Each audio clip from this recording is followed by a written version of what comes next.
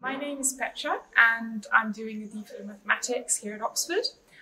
I've always had a peculiar relationship with mathematics. It was one of those subjects in primary school that always made me cry when I didn't get the highest grade, yet pushed me to work harder.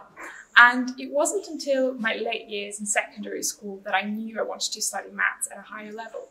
I remember I had a conversation with my mum asking for advice what to study after high school. And she asked me in simple words if there was anything I could do throughout the whole day and not get bored. And for me, that was solving mathematical problems. I did my undergraduate degree in maths at the University of Basel in Switzerland, where somewhere in the middle, I thought of myself as not the most talented mathematician. So I switched to a double degree in English and maths.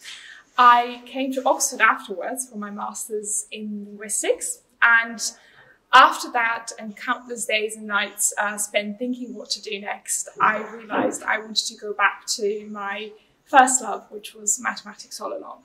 Um, in the past few years, I grew, I learned a lot about myself and I grew as a researcher. And I believe it's important to do what you love, to listen to that inner voice and be patient. Um, sometimes things take time, but it doesn't mean they're not happening.